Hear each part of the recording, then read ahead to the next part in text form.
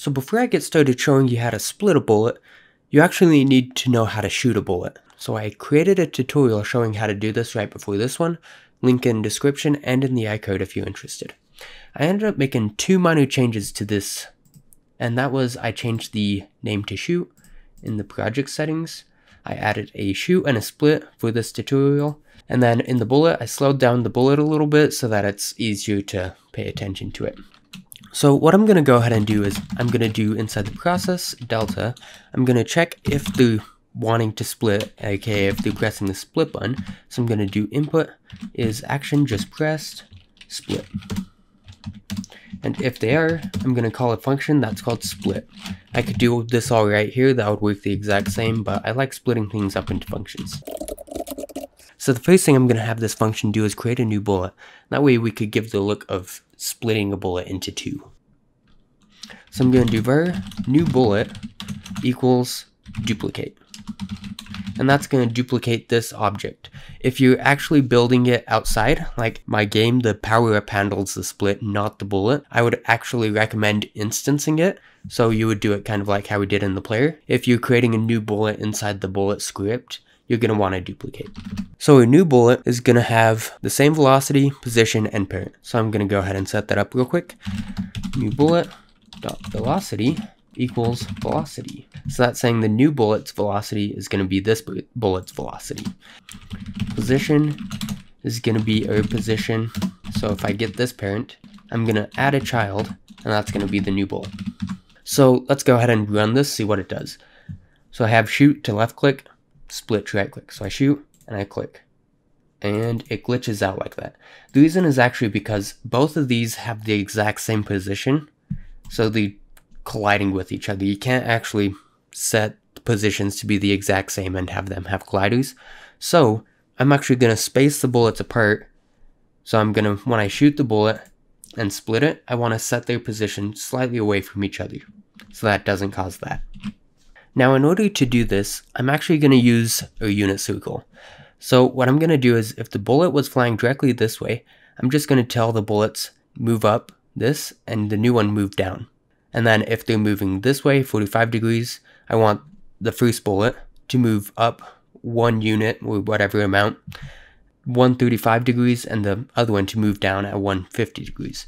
In order to accomplish this, we're going to get our current velocity and get the position rotated 90 degrees and negative 90 degrees. We're then going to tell the respective bullets to move in those directions. So I'm actually going to create a function that'll do that for me. This function's basically just going to be this math function. We're going to take our original x, original y, and use cosine and the angle to give us a new x and new y. So I'm going to do rotate, velocity. I'm going to pass the velocity and the angle. We're going to create a new velocity, and this is just going to be a vector 2 that is empty. I'm going to set the new velocities x velocity dot x times cosine of the angle minus the velocity dot y times sine of the angle and then I'm going to set the new velocity dot y equals velocity dot x times sine of the angle plus velocity dot y times cosine of the angle. And then I'm going to return new velocity. So if I were to pass in 90 degrees into that, that'll give me a 90 degree angle. So if it was shooting this way, and I pass in 90 degrees, that'll give me this one. If it's shooting this way and I pass in negative 90 degrees, that'll give me this one. So I could use that to tell it, hey, move apart this way and this way. So our new bullet dot position is going to be plus equal rotation velocity of our new bullet's velocity, and then 90 degrees, which is 1 half pi. And then we want to times that by some number that tells us how far it's going to move apart. So var space, spacing. And for now, let's just, let's do a tiny number, see if that works. And then our bullet dot position is going to get the same thing, but instead of 90 degrees, we're going to do negative 90 degrees. So now that we've told them, hey, space out this way, space out that way, I didn't declare a bullet. This is actually itself. You don't declare a bullet. So if I shoot, that works. They space out just a little bit at any angle. Now what we want to do is actually get them to rotate because when you split, you want to have a look like it's got a split point and it's shooting out from there.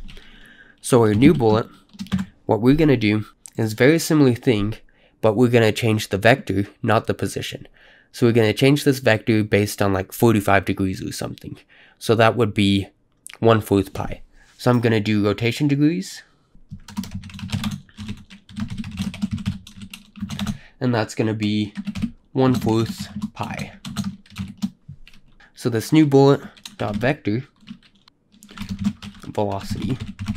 So this new bullet's velocity is going to be is going to be equal to rotate velocity of the new bullet's velocity of the rotation degrees.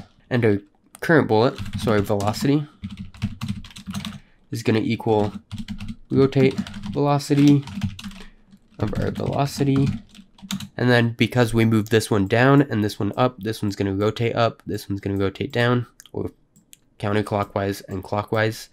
This is going to be negative rotation degrees. If you get that mixed up, you could try swapping this one to negative, this one to positive. So let's run this. We shoot, split, shoot, split. Now that's a bit much. Let's see what we did there. 1 fourth pi. Oh, that's 0.4. Let's do 1 fourth pi. So 45 degrees. We shoot, split. Okay, that looks better. Now, you notice, it's actually every time we click, it splits. And I can quickly crash the game doing this. So I'm going to do a split only once. And to do that, I'm just going to have a already split. And that's going to be false. And then when they call split, I'm going to do if already split return.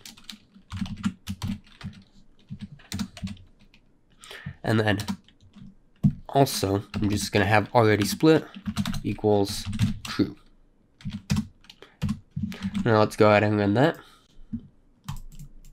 So it looks like the first bullet only splits once, but the second one keeps splitting. So let's go ahead and add that to the second one too.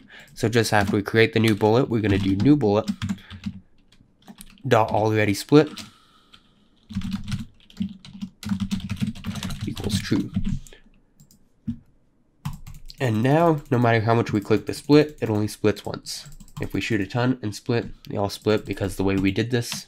And yeah, that's very simple how to split a bullet. Here is the stuff we added, and here are the variables. It's quite simple once you understand the trigonometry, and if you don't, you can actually look up online the functions, the rotation functions, if you get a bit confused on what you want to do.